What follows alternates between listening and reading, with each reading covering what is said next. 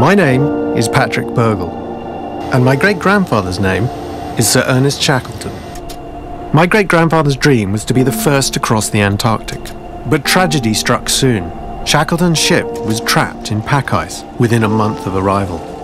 At that point, his mission changed from completing the journey to basic survival. He gave up the crossing, instead, doing everything he could to save his 27 crew members.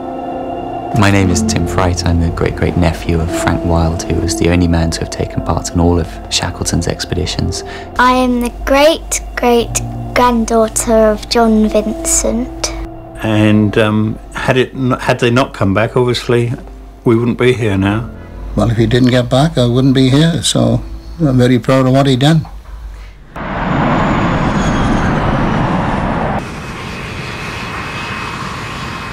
This marks the 100th year since my great grandfather succeeded in saving his crew, and in so doing, gave up his dream. At long last, carrying with me the names of his men and messages from their descendants, I'm going to try to fulfill my great grandfather's dream. Yep, it's good as new. Roger. G Barton Cam, I'm heading to McMurdo. Talk to you at this time.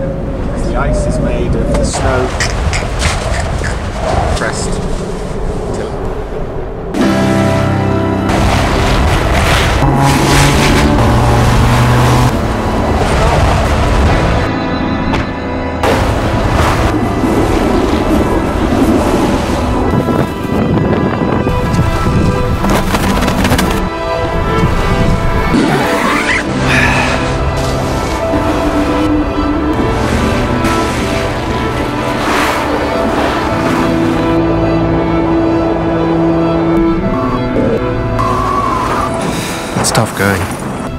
But how much harder would this have been a hundred years ago?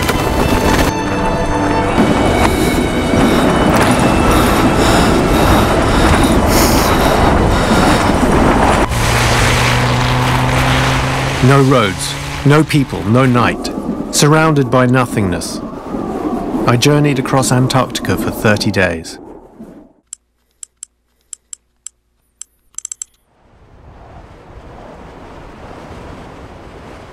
Finally, I reached the place my great grandfather dreamt of a hundred years ago.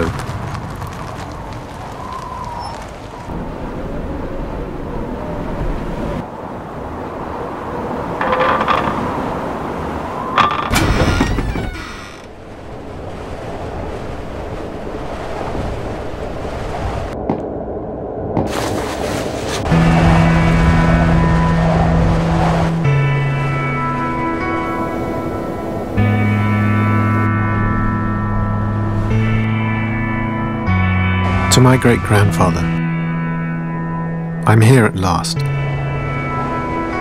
I came with your crew and their descendants.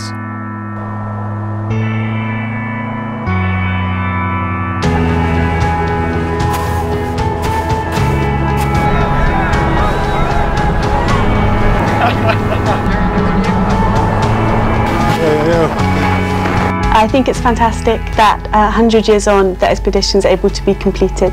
Thank you very much for taking my grandfather on board your ship and creating such an adventure.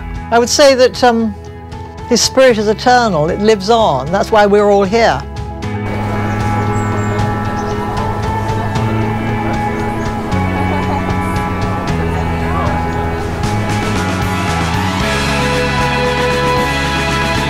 Shackleton's expedition did not fail.